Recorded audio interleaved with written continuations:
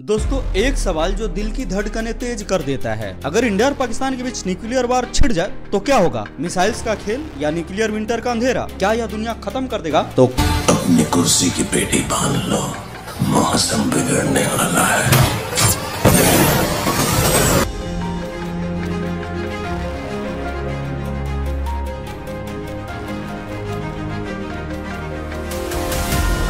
India और पाकिस्तान, दो nuclear powers 300 से ज़्यादा वारहेड के साथ एक छोटी सी भूल, कश्मीर में कॉन्फ्लिक्ट बॉर्डर पर गोली या गलत इंटेलिजेंस और यह वार शुरू हो सकता है। लेकिन यह सिर्फ़ शहरों का नहीं, पूरी दुनिया का विनाश है। क्या अग्नि फाइव और साहिन थ्री का मुकाबला यह वार जीत सकता है? या न्यूक्लियर विंटर सब कुछ खा जाएगा? सस्पेंस ये कौन पहला स्टेप लेगा? और अगर यह वार शुरू हुआ तो क्या कोई बचेगा? चलिए दोनों के हथियारों का मुकाबला देखे। इंडिया का अग्नि फाइव एक इंटर कॉन्टिनेंटल बैलिस्टिक मिसाइल जो 5000 से 8000 किलोमीटर के रेंज के साथ चाइना के दूर के शहरों तक मार सकता है। पूरी दुनिया की एयर डिफेंस भी लगा दिया जाए, फिर भी इसे नहीं रोका जा सकता, क्योंकि इसका स्पीड मैक 24 यानी आवाज़ से भी 24 गुना ज़्यादा है। इसका एम भी टेक एक ही मिसाइल मल्टीपल टारगेट तबाह कर सकता है। एक मिसाइल 10 बार हिट और पाकिस्तान का 10 शहर एक झटके में खत्म। और पाकिस्तान का साइन थ्री रेंज 2750 किलोमीटर और स्पीड 12 मैक के आसपास इसे रोकना भारत के किसी भी एयर डिफेंस के लिए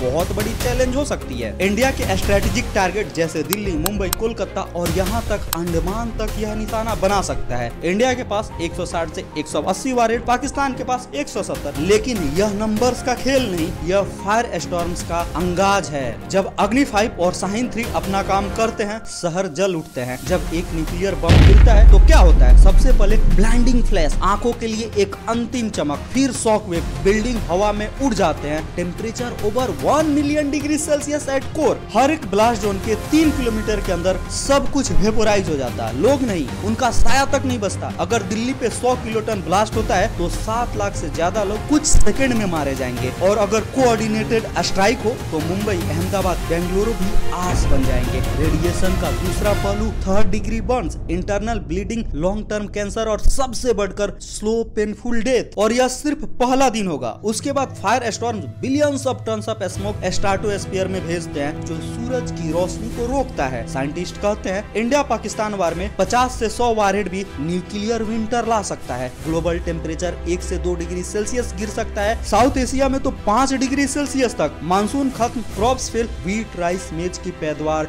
बीस ऐसी तीस परसेंट कम। हिरोशिमा के सर्वाइवर ने तबाही देखी, लेकिन यह उससे भी बड़ा होगा। क्या यह सिर्फ़ साउथ एशिया तक रुकेगा या पूरी दुनिया को खा जाएगा। न्यूक्लियर विंटर 10 से 20 साल तक चल सकता है। ओजोन लेयर 25 परसेंट खत्म यूवी रे से स्किन कैंसर और क्रॉप डैमेज दुनिया भर में फ़ूड प्रोडक्शन 30 परसेंट गिरता है और एक से दो बिलियन लोग भूख से मर सकते हैं। इंडिया और पाकिस्तान के दो बिलियन लोग सबसे पहले मरेंगे। लेकिन अमेरिका, यूरोप, अफ्रीका कोई नहीं बचेगा। इकोनॉमी टूट जाएगी ट्रेड रुक जाएगा और साउथ एशिया एक ग्रेवयार्ड बन जाएगा। लेकिन क्या इससे कोई जीत सकता है? या फिर यह वार सिर्फ़ एक डूम्सडे मशीन है। शायद इंडिया का एडवांस एयर डिफेंस सिस्टम जैसे एस चार सौ और पृथ्वी कुछ शहरों को पाकिस्तान के बीच में बचा पाए, लेकिन न्यूक्लियर विंटर को कोई नहीं रोक सकता। पचास ऐसी सौ मिलियन लोग पहले दिन मरेंगे बिलियंस बाद में। लेकिन एक रास्ता है डिप्लोमेसी इंडिया की नो फ़र्स्ट यूज़ और पाकिस्तान की डिटेरेंस स्ट्रेटजी के बावजूद ईस्ट टॉल ही इससे रोक सकता है। हिरोशिमा से हमने सीखा न्यूक्लियर वार का कोई जीत नहीं। आज भी वहाँ बच्चे अपाहिज पैदा होते हैं तो क्या हम इसे रोक पाएँगे या यह नाइटमेयर